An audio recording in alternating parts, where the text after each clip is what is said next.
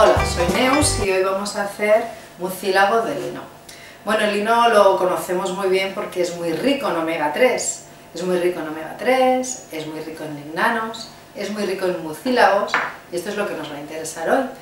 Los mucílagos son unas fibras solubles en agua y que tienen una consistencia viscosa y que a nosotros lo que nos va a aportar a nivel externo va a ser mucha hidratación.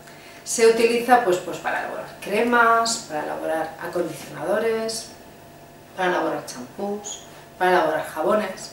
Si lo utilizáramos para las cremas nos da ese efecto deslizante de cuando nos aplicamos la crema. Y a nivel de cabello, pues lo que nos da es, nos lo acondiciona, nos lo protege, nos lo desenreda, nos lo deja suelto, suave y además también nos da volumen. Si el mucílago lo hacemos espesito, pues va a ser un fijador natural para nuestro cabello. Em, nosotros nos lo aplicamos en el cabello y entonces los cabellos que son rizados y ondulados nos marca el rizo. Yo por ejemplo hoy cuando me he duchado pues me he aplicado el, mucílago de lino, un poquito para que veáis el efecto que hace, ¿no? Yo simplemente me lo he aplicado en mojado y luego lo que he hecho pues que secarlo al aire. Y este es el efecto pues que me, queda. Yo francamente pues veo que queda pues un rizo muy bonito, me ha marcado el ondulado natural que yo tengo. Y bueno, pues nada, ahora vamos a empezar a hacerlo porque ya veréis que es muy fácil. Bueno, vamos a empezar a elaborarlo. Yo en vez de utilizar agua, que generalmente se utiliza agua, pero también se puede utilizar alguna infusión, voy a utilizar una infusión que tengo de ortiga y luego os explicaré el por qué. Voy a empezar poniendo una taza de infusión de ortiga.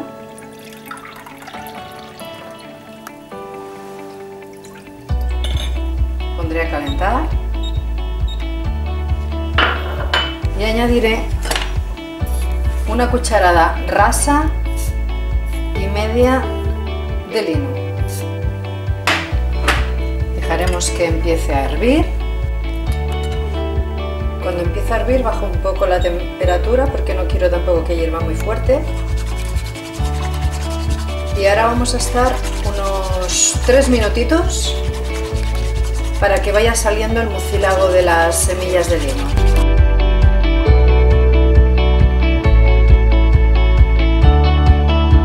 Moviéndolo estoy ayudando a que vaya saliendo mejor la fibra.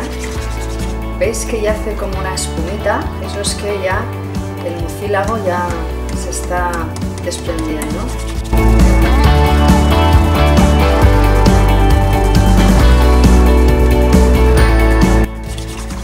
Bueno, he estado unos tres minutitos. Si quisiera que fuera más espeso puedo estar más tiempo. A mí me va bien ahora ya como esta consistencia y lo que es muy importante es que en caliente lo colemos porque como dejemos que se enfríe va a ser muy difícil colarlo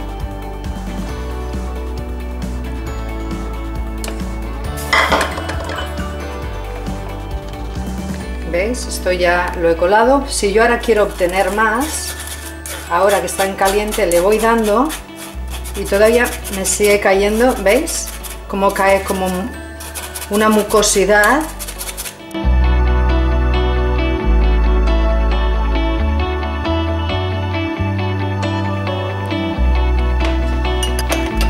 que acabo de hacer ahora, lo dejaremos enfriar, ¿veis? Se ve como muy liquidito, pero este es el que tengo hecho, que he hecho hace un ratito, y ya se ha enfriado, entonces ya tiene otra consistencia, es más, pues eso, como una textura más de, de clara de huevo, ¿veis?